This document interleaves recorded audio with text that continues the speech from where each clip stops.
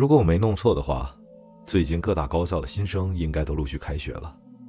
看来是因为这个，我最近花了不少钱参加各种庆祝活动，都快让我破产了。没有新的酒局邀请，想来是因为大家都忙着开学了吧。既然新生们开始了大学生活，今晚的故事就得更加贴切。我们不在家里舒舒服服的听，要增添点大学氛围才好。那么今晚让我们来听系列故事《十大中国高校灵异事件》。之前我说过一些大话，关于非985或211院校的故事我不讲，现在来给大家澄清一下。我那是想激励大家好好学习，争取上一个好大学，绝不是对普通高校有什么歧视。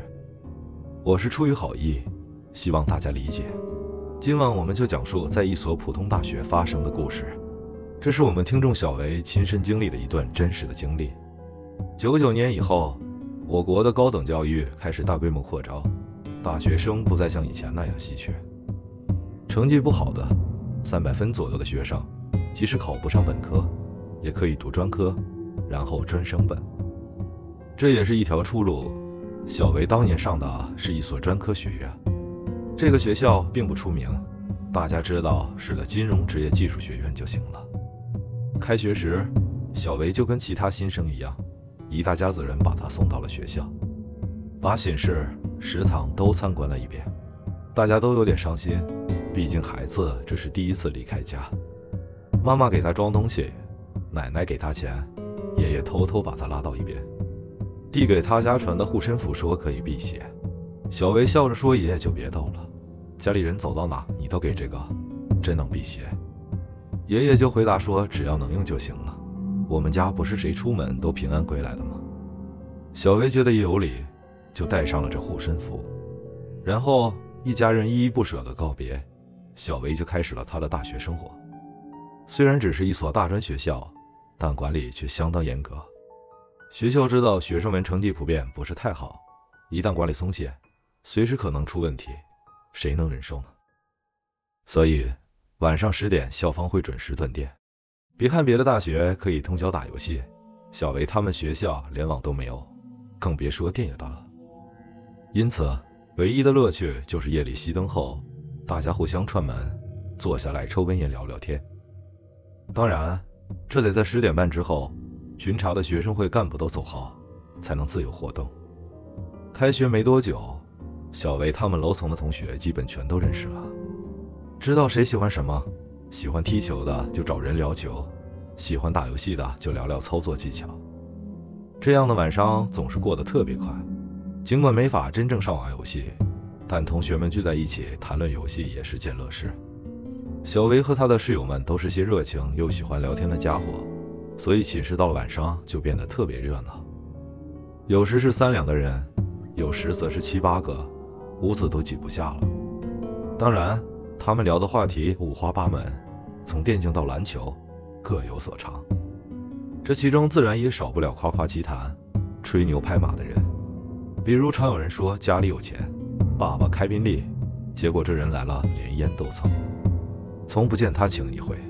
不过有个叫郑鑫的同学真的很富有，他每次来都会带着烟来分发给大家。而且他总是抽高档的软包中华烟，大家普遍觉得，就算是普通工薪者，也未必舍得抽这么贵的烟。然后呢，只要郑鑫来了，他肯定会散发中华烟。每次他几乎都是最后一个离开，临走前还要再散发一轮烟。一般晚上至少要两三盒才下得来。起初大家都还比较有礼貌，毕竟不能因为别人请烟就唯唯诺诺。但随着大家渐渐熟络，有的同学就开始开玩笑说：“郑鑫天天抽中华，爸也开宾利。”郑鑫则回答说：“他爸开的是夏利。”当被问及为什么这么有钱时，他说自己和大家不一样。一番解释之后，同学们才了解到，原来郑鑫讲述的是大数据、O2O 从业经验、融资热潮和现金流转的知识。尽管他们没能完全弄明白郑鑫如何赚钱，但听起来他似乎很有能力，也许将来会成为跟定类、马云或王健林一样的商界大佬。因此，只要郑鑫一到，他总会受到热烈欢迎。大家都喜欢有钱又能聊的人，即使不少原本不抽烟的同学也因他散发的中华烟而开始尝试，小维也是其中之一。奇怪的是，小维在学会抽烟的过程中似乎遇到了些波折，他对烟感受非常不稳定，有时候觉得很舒服，有时候又烟熏的要命。所以，寝室里两大乐趣之一就是听郑鑫吹牛，另一个则是看小维尝试抽烟。那天晚上。寝室里又是一片欢声笑语，同学们聚在一起谈天说地。郑鑫做常做的事，散发了一圈烟，然后就静静的坐着，不怎么参与谈话。在他那里，时间久了，话就不多了。听着一个个吹牛，突然有人提起郑鑫怎么还不说话？自开学以来，他一直很低调，又懂得赚钱，真是让人钦佩。其他人也开始起哄。让他说几句话。郑鑫平静的开口，简单的分享了他的成功秘诀，并告诉大家他家只给了他一万块来上学。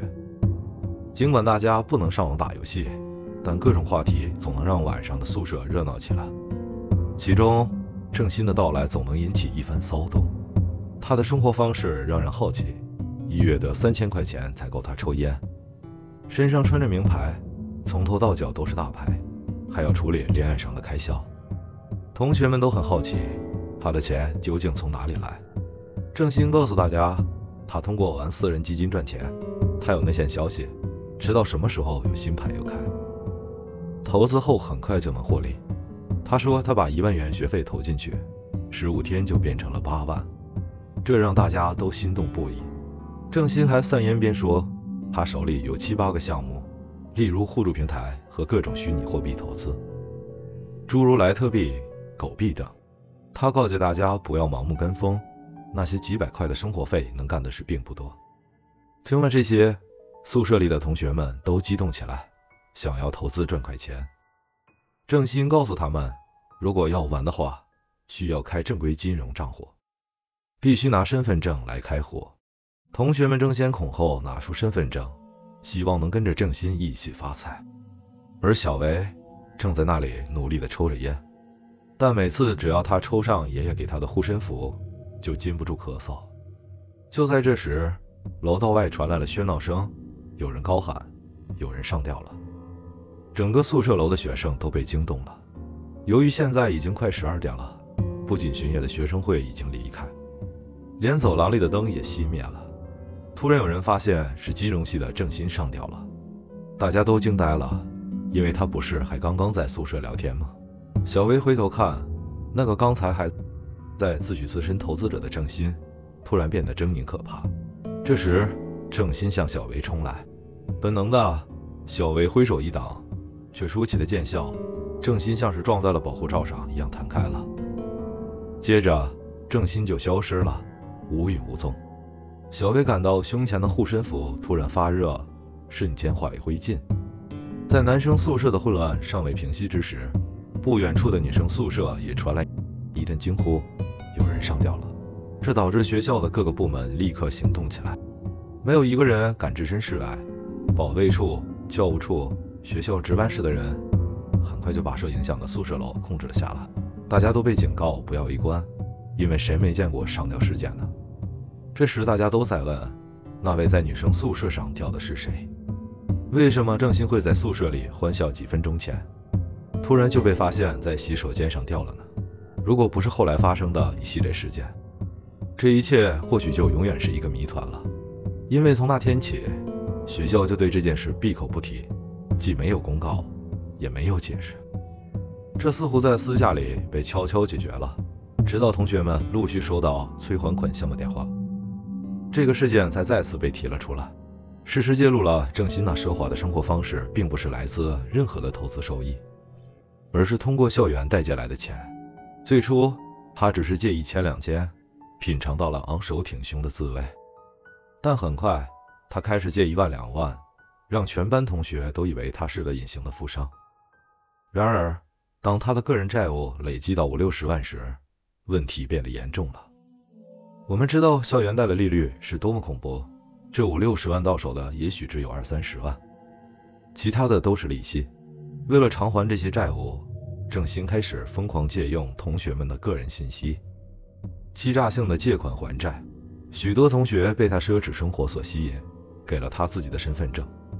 但不久前，他的上线突然失踪，带走了所有钱，这使得郑鑫一筹莫展，最终选择了上吊自杀。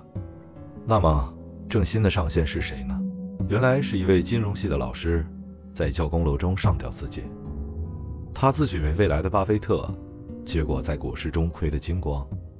他也为了填补自己的亏空，拉学生下水，搞起了校园贷。这位老师由于单独生活，十几天没人发现他的尸体。每天晚上还和郑鑫在约定的地点见面，进行不正当交易。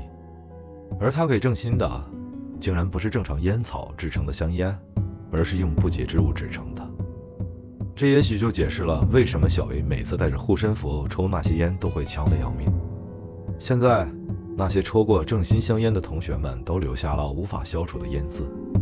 可能在正新临终时，他还在想着怎样能骗到更多的同学。面对现今频发的校园贷引发的悲剧，比如裸条、自杀的，我不想多说教。正直的孩子不会做出这样的事，那些会做出来的人也不会。因为我两句提醒就改过自新，我只想说，生活才刚刚开始。如果你被这点小诱惑就击倒，那自杀还算是个解决方法。不然背负七八十万的债务，我不敢想象这样的人会做出什么更加可怕的事情。